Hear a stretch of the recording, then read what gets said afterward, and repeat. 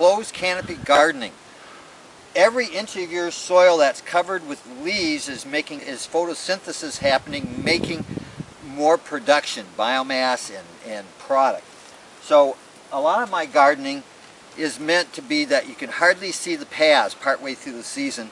It's this like solid uh, plants. So this is not 100% covered here because we just harvested a lot of spilanthes that had volunteered in the path, path here. So uh, we have lovage and we have worm seed or epazote. We've got those peppers here going into this guild. We've got rue. We've got leeks. We've got horseradish. Here's some more uh, leeks. There's asparagus up here. Uh, garlic chives, columbine, holy basil, echinacea, Baikal skullcap, runner beans on the fence, and uh, summer savory, and I see, what do I see over there? A blue vervain and uh, lavender. Anyway, you can see a little bit of dirt in here, but not too much.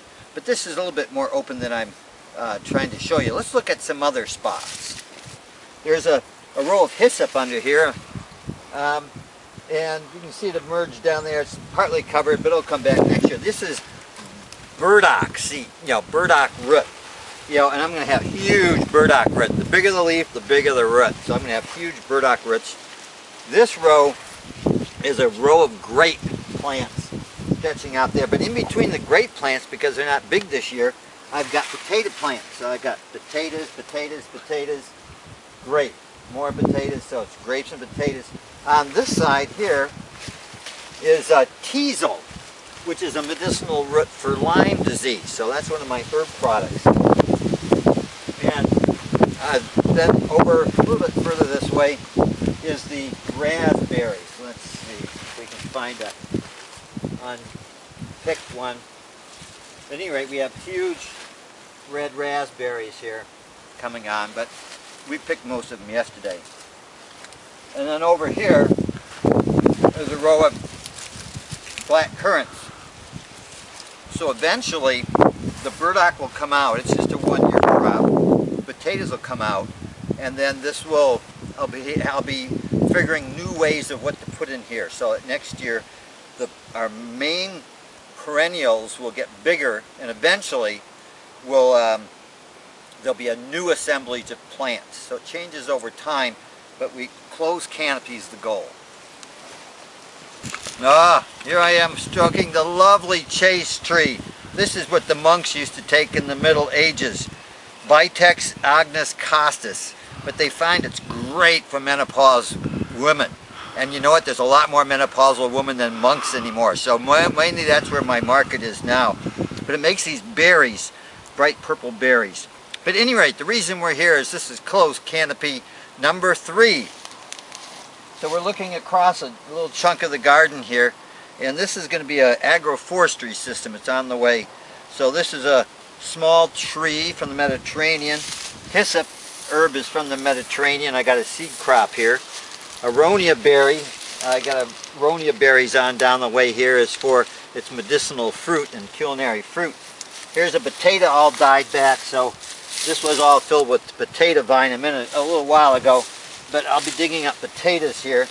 Here is, uh, this is a volunteer radish.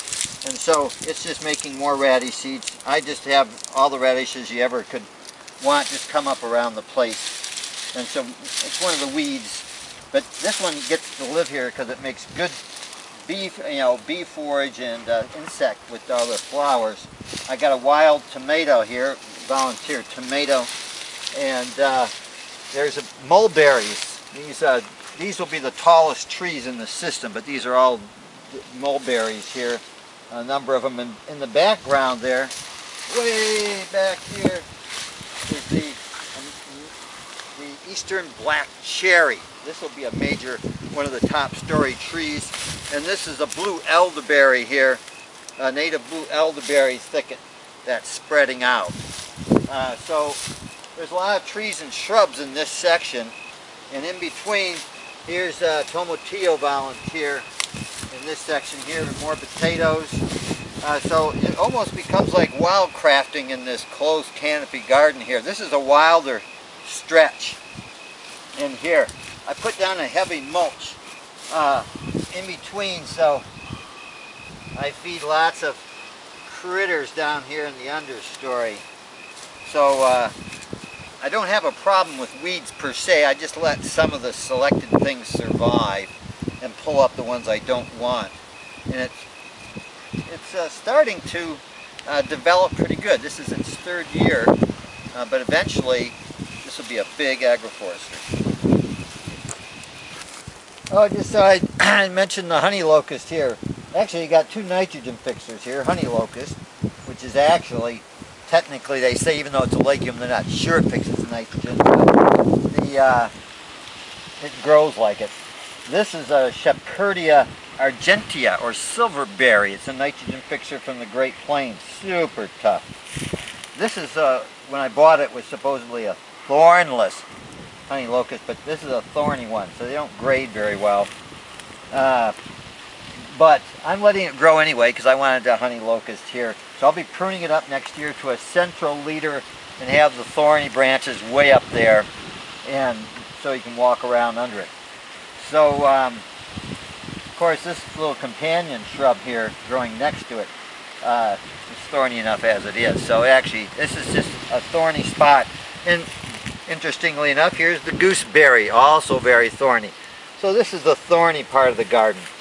Uh, it's a bit of, you can see what else we have here. We have burdock. This one's trying to go to seed. We've got squash.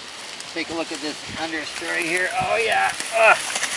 Oh yeah, here's a, here's a nice uh, squash. One of my hybrids, I'm breeding up different kinds of squash here.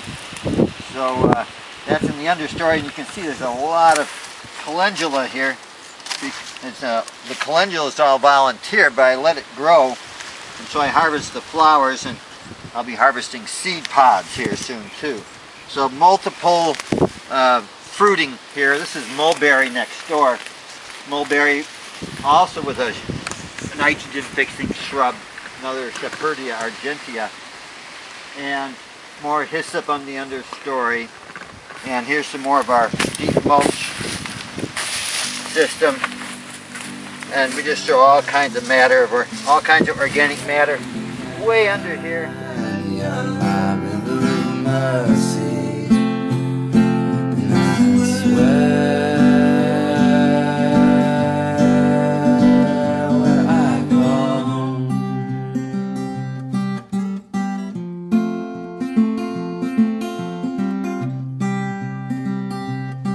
If you like this sort of thing, come on out to the forums at permies.com, where we talk about full canopy gardening, homesteading, and permaculture all the time.